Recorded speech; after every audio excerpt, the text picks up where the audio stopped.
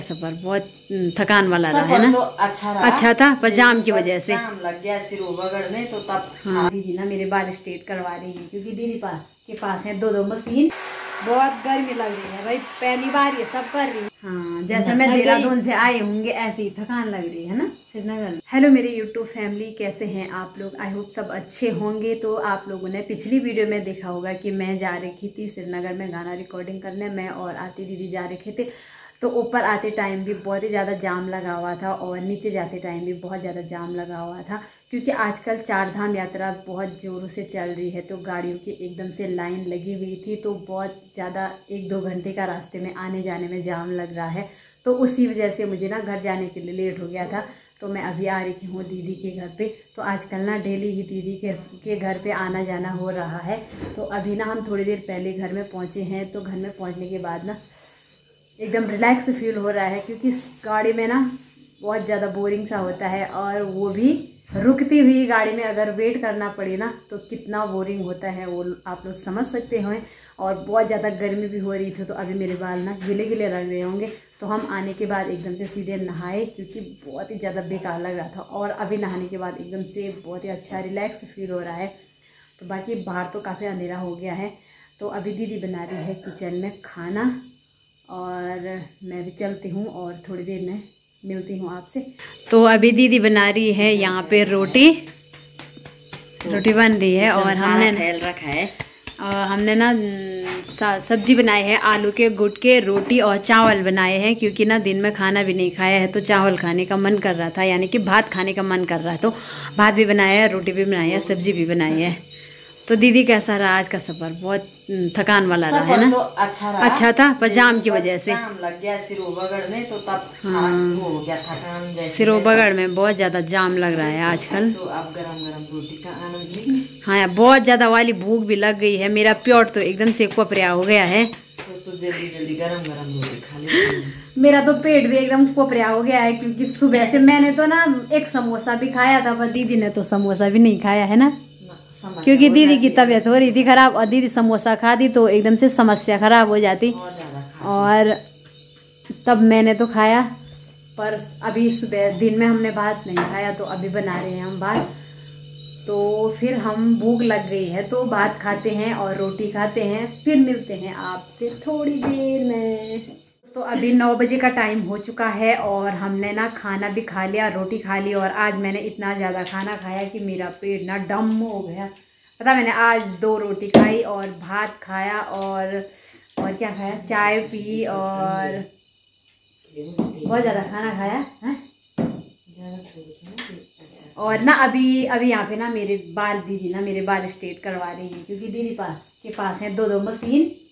तो मेरे बाल बहुत ज़्यादा घुंघराले हैं और मुझे ये वाले बाल पसंद नहीं है। मुझे सीधे बाल पसंद है जैसे कि दीदी के बाल ना बहुत सीधे हैं और मेरे बाल इस तरह के हैं ये देखो। तो मैं इनको ना सीधा करवा रही हूँ और हम्म, भविष्य में आने वाले टाइम पे मैं परमानेंट करवाऊँगी इनको सीधे ना। पर अभी मेरे पास इतनी गुंजाइश नहीं है कि मैं एकदम से सीधे करवाऊँ और मैं ऐसे कर रही हूँ देखो गरम लगा फुटबॉल तो नहीं मनो हैं? तो मैं लूँगी इससे कितने कहीं इन पोरे भी नहीं ना हूँ पहला। तो मैंने कुछ नहीं खाने कुछ नहीं बोला बहुत गर्मी लग रही है भाई पहली बार ये सब कर रही हूँ। और बाद में ना ना माँ मैं परमानेंट करूँगी इनको सीधे क्योंकि मुझे सीधे बाल बहुत ज़्यादा पसंद है। और लंबे बाल मुझे बहुत पसंद है लंबे बाल। लंबे तो बहुत ज़्यादा है। अब दिखाएँगे बाद में दिखाएँगे आप। और अब ना थोड़ा करेंगे तो फाइनल लुक दिखाएँगे आपको ठीक है? तो अभी फाइनली आसमा के बाल भी स्ट्रेट हो चुके हैं। इसके बाल बहुत ही ज़्यादा करली करली थे तो इस वजह से उतने ज़्यादा तो नहीं हो पाए हैं पर लेकिन फिर भी है ना? हाँ अभी ऐसे हो गए हैं। तो अभी मेरे को बहुत हल्का हल्का फील हो रहा है। और जब दीदी मेरे बालों पे ऐसे लगा रही थी ना मेरे बालों पे बहुत ज़्यादा अच्छा लग रहा था। एकदम से रिलैक्स फील हो रहा था मेरे मन कर रहा था कि तो थोड़ी देर तक ऐसे इधर की साइड भी बहुत ज़्यादा कर लिए थे तो यहाँ हम्म, फाइनली पूरे एक तो हो चुके हैं। घुंघराले- हैं। थे और पीछे से देख सकते हैं आप लोग काफ़ी मतलब सीधे हो गए हैं तो यहाँ पहले से। पर लंबे तो बहुत ज़्यादा हैं। लंबे तो मैं दिखा सकती हूँ आपको केस पर ही है इतने। इतने लंबे बाल हैं मतलब घुटने। हाँ इसके घुटने हैं यहाँ पे घुटनों तक घुटनों तक लंबे बाल हैं आपके। हाँ, पर पर घुंघराले के चक्कर में ना वो कर लिए हैं तो बटे बटे बहुत ज़्यादा घने हैं पता जितना भी मैं बनाती हूँ जितना इतना इतना ना बाल बनाते टाइम इतने इतने बाल झड़ भी जाते हैं फिर पता नहीं वो कैसे ऐसे घने हो जाते हैं। पर अच्छे आप लोग मेरे को आप लोग मेरे को इतना सपोर्ट करो कि मैं बहुत जल्दी दे रहा दूँ इन बालों को ऐसे सीधे करने जाऊँ ऐसे। जब आप लोग सपोर्ट करेंगे हाँ तभी। जाएँगे ना सीधे करेंगे इनको ठीक है? Permanent. आपके बाल तो वैसे भी बहुत अच्छे हैं पर आपके तो बहुत सीधे बाल हैं मेरे ऐसे बाल मेरे। तेरे भी बहुत जल्दी हो जाएँगे। अगर मुझे हमारे ना सच्ची में मुझे बहुत ज़्यादा लंबे बालों का शौक है ऐसे लंबे बालों का।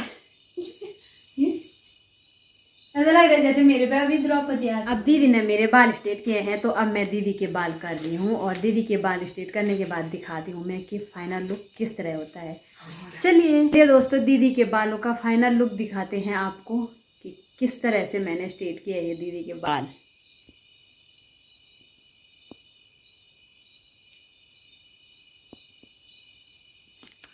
बहुत सॉफ्ट सॉफ्ट बहुत लंबे लंबे बाल।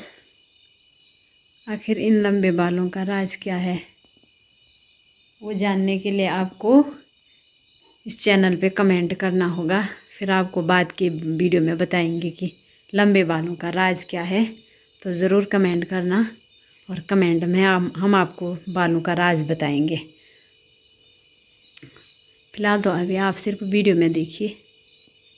सॉफ्ट और मुलायम बाल। ये देखो ये देखो। दोस्तों अभी ना रात के दस बज चुकी है और अभी तक मैं और दीदी बैठे हैं। वैसे तो बहुत ज़्यादा थकान लगी हुई थी सोचा था कि घर जाएँगे सीधे लम लेट होंगे है ना? जैसे कि तू देहरादून से आई हुई। हाँ जैसे मैं देहरादून से आए होंगे ऐसे ही थकान लग रही है ना श्रीनगर में भी। क्या फ़ायदा देहरादून जाओ श्रीनगर जाओ। थकान तो उतनी ही लग रही है। तो सिर का जाम हाँ तो अभी ना थकान भी बहुत और नींद से मेरी आँखें ऐसे हो रही जब तो फ़िलहाल तो हम सोते हैं और दीदी की हो रही है तबीयत खराब खांसी जुकाम बुखार पता चला दीदी से मेरे पे भी सर जाएगा। हाँ, अलग सौर जाएगा मेरे पे। अलग बिस्तर में सो जा तो मैं तो अलग सोऊँगी क्योंकि मेरे भी कोई बात नहीं अब अगर गले में थोड़ा कल तक थी प्रॉब्लम कल तक नहीं होनी चाहिए थी। अब होगी भी तो कोई बात नहीं। तो अभी हम सोते हैं। तो आप लोग ना कल की वीडियो का इंतज़ार करना फिर कल मिलेंगे आपसे और बहुत रात हो गई है तो अभी हम सोते हैं। तो बाय बाय दोस्तों ख्याल रखना अपना। बाय बाय शुभ रात्रि शुभ रात्रि गुड नाइट